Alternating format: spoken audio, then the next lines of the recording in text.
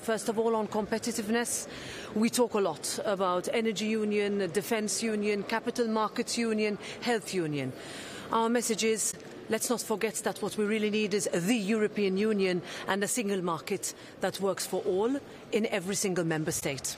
And we thank very much uh, um, former Prime Minister Enrico Letta for the report, which we will study intensively and which we have worked with him a lot in preparation of this report. And finally, on elections, uh, since this will be the last European Council before the elections, I will uh, end my uh, conversation with the Prime Ministers and heads of state with an appeal uh, for them to work with this campaign with us.